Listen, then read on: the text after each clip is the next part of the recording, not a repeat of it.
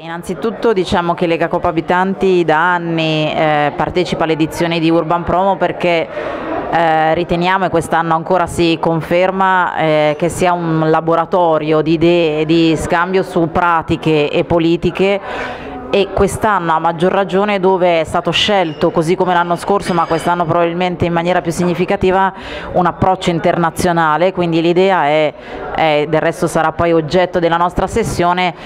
uno scambio tra le esperienze di Lione, di Parigi e delle politiche eh, che si fanno sul tema della mixité in Europa e come questo si possa poi eh, portare o in qualche modo quale declinazione queste forme possono avere in Italia.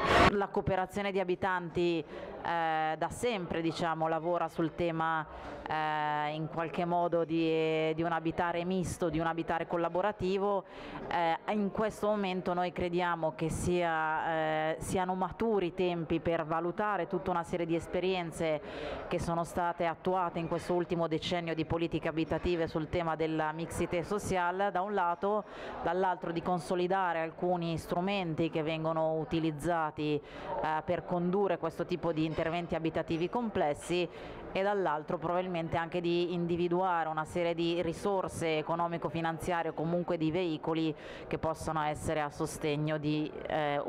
di un'implementazione in termini quantitativi di quanto è stato fatto forse più da un punto di vista qualitativo.